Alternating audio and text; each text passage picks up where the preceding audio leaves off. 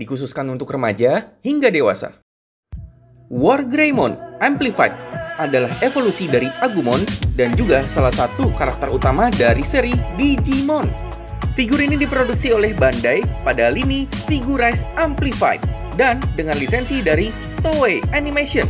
Oke, sebelumnya perkenalkan nama gue Audi Satrio dan selamat datang di channel Bos Parkir. Sebelum dilanjut, like jika kalian suka dengan videonya, dan juga subscribe, serta nyalakan loncengnya untuk mendukung channel ini. Nah, ini dia bro boxnya. War Greymon Amplified Figurize ya. Wah gila keren banget. Ini gue suka banget ini artwork di bagian depannya War Greymonnya. Ini keren banget kalau misalnya kalian suka majang-majang artwork yang di kamar, meja belajar Ataupun tempat kerja kalian ini keren banget. Terus di sini kita bisa lihat ada logo Digimonnya. Uh gila keren. Terus di sini Figurize Amplified. Nah, ini ternyata tulisannya ada di atas nih yang versi Amplified ya. Jadi mungkin kayak versi enhance gitu ya, versi ditambahin detailnya lagi lebih keren lagi. War Greymon, Bandai.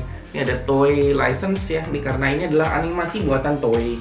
Nah, di bagian kanan dan kiri hanya sama persis kayak artworknya, tapi versi lebih kecil aja ya. Nah, di bagian atasnya nih Ya, ada War Greymonnya tapi ketutupan sama stiker cara merakit, petunjuk merakit nih bahasa Indonesia loh ini kalau kalian mau lihat. Terus bagian belakangnya Nah, ini dia bro. Gile, keren banget ya. Ada beberapa pose-pose yang nanti bisa kita tiru dan kita bisa ngeliat ada berbagai macam aksesoris yang kita dapat. Keren banget ini War Greymonnya. Oh, gila. Bagian bawahnya nih harusnya hanya polos aja karena ini adalah box standar model kit dari Bandai. Oke? Nah, ini dia figurnya. Figur ini memiliki tinggi 20,5 cm sampai ujung sayapnya. Kesan pertamanya ini seperti action figure yang sangat mewah ya dengan penambahan detail-detail di keseluruhan badannya. Luar biasa. Dan ini ada perbandingan tinggi dengan HG Gundam Burning ya. Dan juga ada SH Figuarts Kamen Rider Zio. Oke, kita bahas detail. Untuk kepala kita disajikan dengan tampilan War Greymon yang sudah di-upgrade ya. Ini terutama di bagian detail-detailnya nih di uh tanduknya aja nih ada tuh ada sculpting lagi, ada garis lagi kayak gini kan di ujung armor-armornya nih juga tuh kepalanya, tanduknya. Ini bagian sini samping ini keren banget sih matanya sampai mulutnya nih ada taringnya gitu ya. Uh gila detailnya. Terus di dalam kita bisa lihat ada sedikit kabel tuh di bagian lehernya, terus rambutnya tuh. Sayangnya kita dapat seperti semacam uh, apa ya? cacat molding sini bisa dibilang tuh ada garis sedikit tuh ya kayak seret gitu. Itu bukan bukan sculpt ya. Untuk tangan dan badan kita banyak banget mendapatkan aksen-aksen atau parts-parts moldingan yang bentuknya seperti tembus atau sitruh seperti ini contohnya di bahu nih. Uh, gila keren banget ya. Jadi kita bisa ngeliat parts di bagian dalamnya berwarna abu-abu nih. Tuh. Di bagian yang cakarnya juga tuh ya. Tembus-tembus seperti ini bolong-bolong kita jadi bisa melihat detail di dalamnya. Oke, di badannya juga sebenarnya ada nih sedikit di bagian uh, sampingnya nih ini kita lihat dulu bagian depannya. Uh, gila. Ini khas banget ya. Ini silang-silang warna merah nih seperti pengikatnya baju samurai di War Greymon. Tapi ditambahkan detail-detail lagi nih. Seperti bagian sini, nih samping-samping ini seperti tulang rusuknya. Oke. Ini bahunya juga keren banget, gue suka. Armornya sih yang, wah gila gue gak ketara banget deh pokoknya. Di sini kita juga bisa lihat dapat si otot-otot tangan si War Greymonnya ya. Oke. Detail juga. Ini sampai di bagian dalamnya loh cakarnya tuh. Lalu bergerak bagian belakang ini, oke, brave shieldnya atau sayapnya ya, ini sebenarnya. Ini adalah tameng tapi ditaruh di belakang jadi kayak sayap, bisa dibuka seperti ini. Aduh, ini jadi memberikan kesan mewah sekaligus elegan ke War Greymonnya. Ada teksturnya seperti sayap, seperti ornamen-ornamen lanjutan dari si logo Brave Shieldnya ini. Lanjut ke bagian kaki kita dapat beberapa part seperti armor ya. Ini udah armor bawaan tapi ini gue baru ngeliat nih. Mungkin kalau War Greymon yang sebelumnya gue lupa nih ada apa nggak ya? Ini sepertinya tambahan ya yang part ini pelindung pahanya. Ini ada uh, celana seperti samurai juga. Oke, okay. ini itu ada bolong, itu bukan rusak, tenang aja, itu emang nanti bisa kita pasang uh, ke stage act ya. Itu stiker juga bagian warna silvernya, oke. Okay. Kakinya nih armornya tuh sampai belakang loh, tuh. Ini ada seperti pengikatnya nih talinya ya, lanjut ke belakang. Oke, okay, ini dia bagian uh, lututnya ya seperti ada belahan gitu lagi-lagi desain modelnya jadi armornya kayak berlayer-layer gitu. Ini yang menandakan kalau dia emang dari Agumon. Tuh bisa kita lihat juga ya ada sedikit kayak mark-mark tuh kayak bukan ini bukan tekstur loh ini emang kayak cacat dari sananya. Yang warna abu-abu doang khusus yang warna abu-abu. Oke yang ini sih aman ini aman. Badan sih tadi ada juga beberapa. Ya tuh di sini nih. Aduh kayak rambut gitu ya.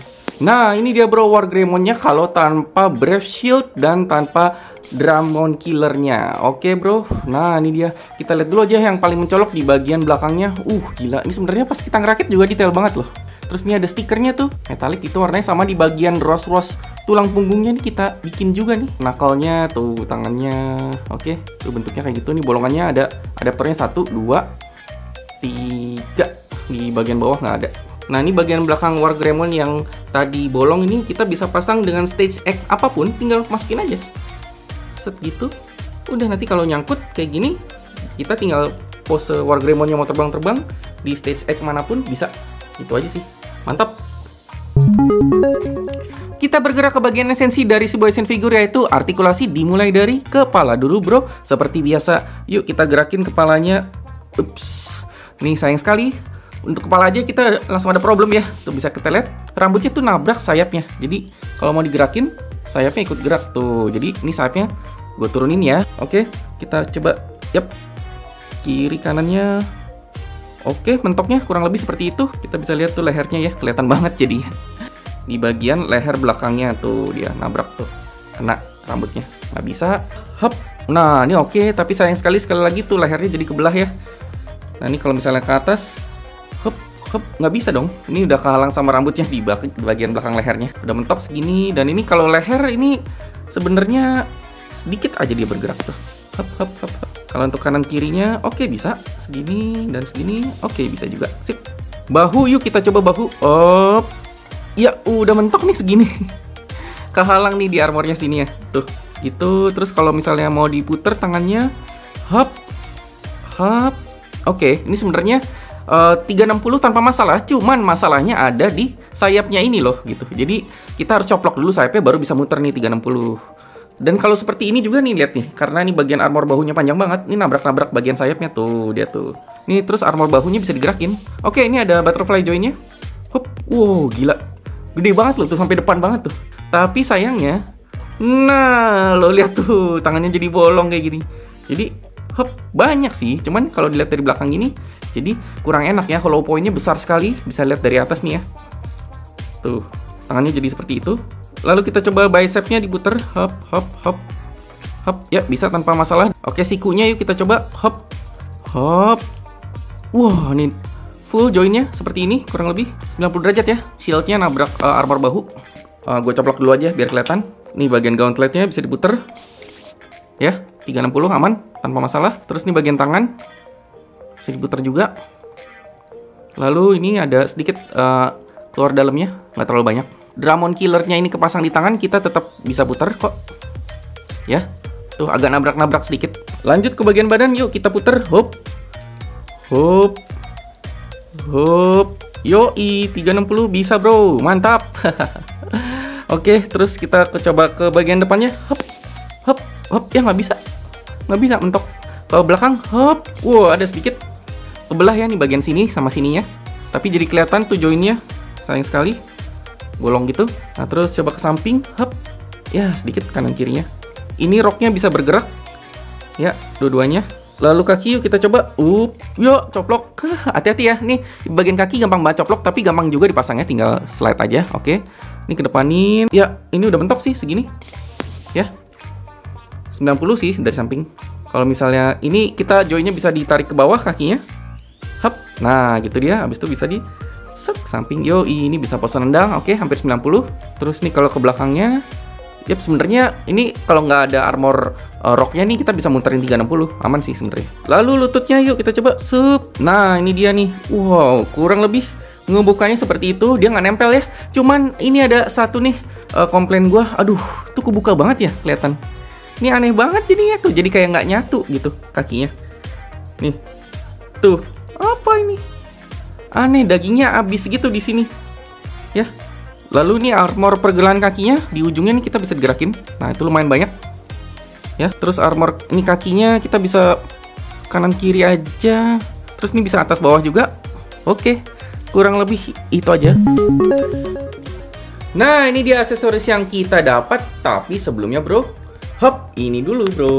Kita dapat bukletnya. Ini sebenarnya cara ngerakitnya. Jadi di dalamnya cara-cara ngerakitnya ini uh, eh, gue udah ngeliat semua sebenarnya. Udah sampai jadi uh, model kitnya. Tapi di sini ada cara-cara pose-pose ini juga nih dan ada berbagai macam uh, tipe-tipe aksesorisnya nih. Ada yang ini, ada yang ini uh, shieldnya dipasang di tangan dan segala macam. Di sini biasakan baca dulu cara-cara pasang dan coploknya. Oke? Okay? Yap, ini dia senjata utamanya dari War Greymon. Ini adalah namanya Dramon Killers. Gile, gue aja baru tahu loh ini namanya Dramon Killer. Ini jadi ternyata ada namanya loh bro. Dan ini juga, ini kita bisa lihat ada packnya di dalamnya. Nih ada scalp-scalpnya juga detailnya. Oke, cakarnya keren. Ini tajam, hati-hati, tajam banget. Terus ini kita dapat join, bisa digerakin sebenarnya. Nah, lo keren kan? Ini ke atasnya bisa mentoknya sampai Yap, seperti itu kurang lebih. Cara masangnya sih gampang aja. Ini packnya dimasukin ke yang di tangannya nih. Bisa di mana aja, bisa yang ini, bisa yang di belakang sini. Terserah sih sebenarnya mana aja. Dipasang aja, tinggal slup masuk. Oh, udah deh. Next, ini dia yang unik nih. Gue baru tahu ini namanya adalah Brave Shield. Oke, okay? ini jadi kalau digabung seperti ini, jadi tameng dia bentuknya. Nah, ini bagian belakangnya Wuh, gila keren banget bro. Ini bagian belakangnya, aduh. Bandai ini ngedesain Order Draymond sayapnya jadi kayak gini. Keren banget nih bagian part clearnya. Kita bisa buka sebenarnya. Ini kita gerakin. Oke. Okay.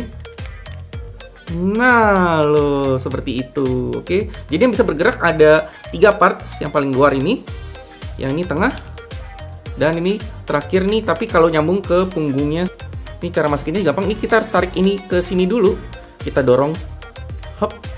Nah gini baru kita bisa lipat dia jadi mengecil lagi. Sep. nah itu dia. Cara masang brave shieldnya ini juga gampang banget. Yuk tinggal masukin aja nih ke packnya nih colokannya ini sama di punggungnya ini. Oke. Nih tinggal dorong. Sup. Oke. Tinggal yang bagian kanan. Sup. Uh, udah deh jadi. Sayapnya seperti ini nih. Bisa digerakin. Tuh oke. Ini dia ball join ya dia agak bisa keluar ke dalam tuh dua-duanya. Ini terhalang tapi ya pergerakannya sama yang sebelahnya sayapnya atau brave shieldnya. Tuh kena rambut lagi kan tuh dia tuh. Ya ampun. Ya, ini kalau dibuka gampang aja. Yuk kita buka. Hop. Hop. Hop. Nah gila detailnya. Keren banget ya bro ya Nah, terakhir kita dapat ini adaptor untuk pasang ke tangan si Wargremonnya supaya bisa masang mode shield gitu. Jadi kayak di tangan pose untuk nameng. Oke, jadi tadi gue juga uh, udah coba coplok sayapnya untuk bikin pose uh, megang tameng ya di tangannya. Tapi ini ada adapternya nih kuat banget. Ini nyoploknya susah banget dan ini gue gua ngeri banget kalau nyabut pakai tang juga. Mungkin nanti di sesi foto kali ya kita baru bisa berani coplok. Kalau sekarang takut nih nanti tiba-tiba di tengah jalan putus kayak rata los kemarin. Aduh, ini aja nih lihat nih adaptornya. Tuh, kelihatan nggak? Yang sebelah kanan tuh lebih naik kan? Yang sebelah kiri rapet. Ini nih kita udah dorong-dorong tapi udah nggak bisa masuk nih kencang banget nggak tahu kenapa. Nah, tuh ya mau nyontoin juga ke kalian cara masangnya gimana dengan menggunakan adapter yang ini ya. Jadi ini adapter yang ini berfungsi untuk di satu tangan ini. Oke? Jadi nanti yang tadi di belakang ini nih, nih yang dua ini nih. Ini kita masukkan ke dalam sini nih. Nih dua ini, lalu ini ada satu nih.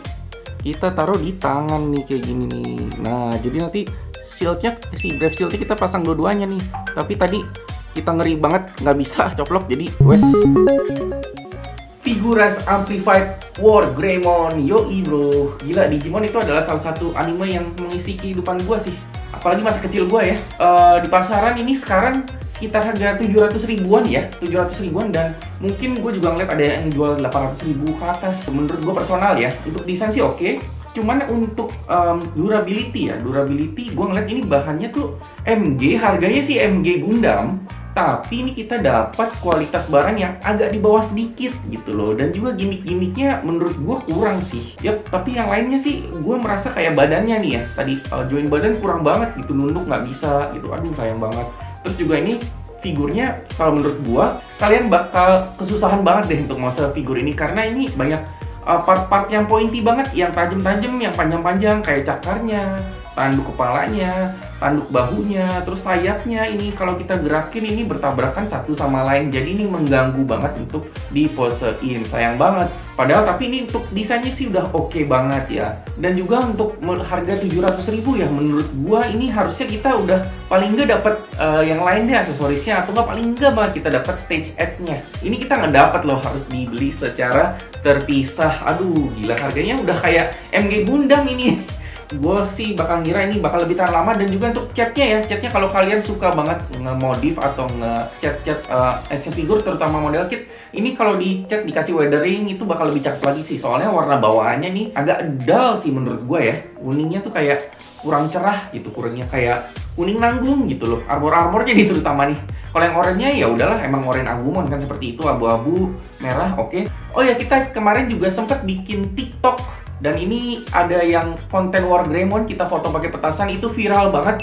Udah nyentuh hampir 2 juta view mungkin sekarang udah sampai 2 juta view ya. Itu uh, kita juga kaget sih. Kalian cek aja langsung di tiktoknya bos garis bawah parkir itu kita udah nyediain konten tiktok banyak banget.